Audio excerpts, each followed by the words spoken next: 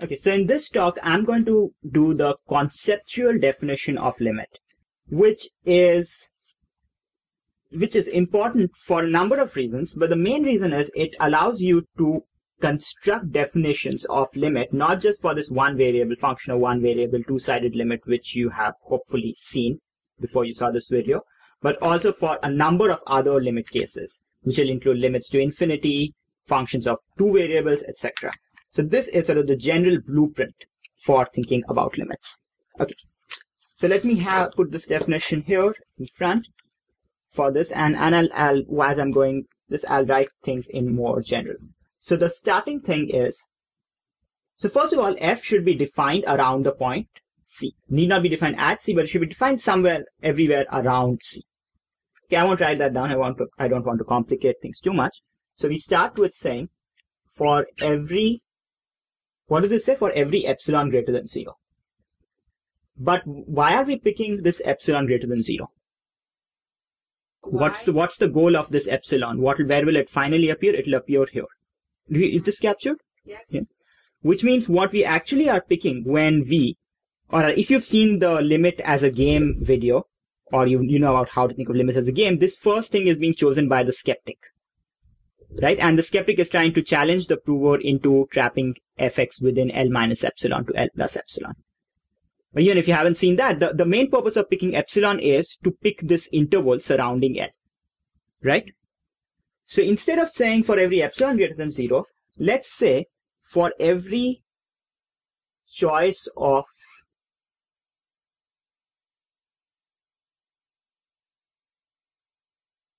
choice of neighborhood of L. So what do I mean by that? I've not really defined it. So, so sort of this is a definition which is not really a definition. It's the it's sort of the blueprint for definitions. It's it's what it's what you fill in the details and get a correct definition. So by neighborhood, I mean in this case, I would mean something like L minus epsilon L plus epsilon. It's an it's an open interval surrounding L. Okay, this one. So, so the conceptual definition starts by saying for every choice of neighborhood of L, okay. So the term neighborhood I haven't really defined. But that, that's the point. It's, it's a general conceptual definition. There exists. What should come next? There exists a a delta. Well, that's what the concrete definition says, but what would the conceptual thing say? A neighborhood. Of what?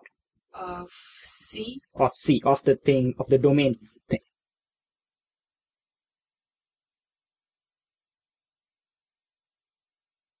Okay, because that the delta is the goal of the delta. The goal of picking delta is to find a neighborhood of C, points immediate left and immediate right of C.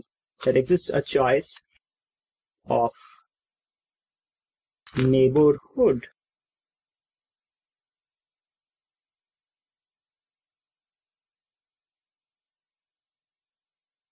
Of C. Such that oh by the way I, sometimes abbreviate such that as ST okay? Uh, don't get confused by that. Okay what next let's bring out the thing. So the next thing says for all x with 0 less than this thing. What is this saying? For all x in the neighborhood, right? Except the point C itself. So what should come here? For all x in the neighborhood of C, I'll put x not equal to C. Is that clear? X not equal to C in the just a neighborhood chosen for C. The reason we are excluding the point C itself is because we take the limit at the point and we just care about stuff around. We don't care about what's happening at the point. For C, so this chosen neighborhood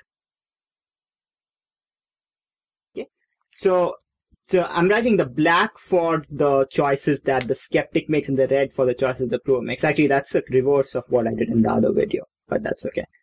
They can change colors. So, so, so if you've seen that limit game thing, this color pattern just, the black matches the skeptic choices and the red matches the, what the prover chooses. But if you haven't seen that, it's not an issue. Just, it's just read it as single color. So then what, what happens next?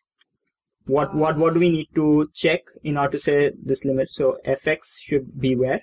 In the neighborhood of L. Yeah. So in, in the concrete definition, we say fx minus L is less than epsilon.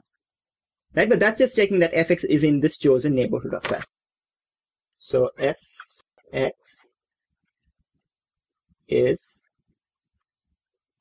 in the chosen neighborhood of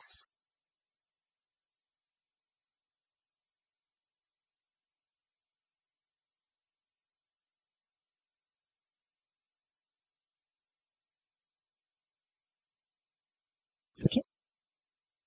So, so now that we have this, this is kind of a blueprint for the definition.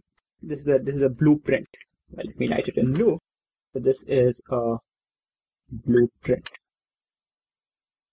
for the definition. What I mean is that now if I ask you to define a limit in a slightly different context, you just have to figure out what do you need to figure out in order to make this rigorous definition what word do you need to understand the meaning of? Hmm? Neighborhood. Neighborhood, right? So that's that's the magic word that and be, behind which I'm hiding the details. If you if you can understand what I mean by neighborhood, then then you can turn this into a concrete definition.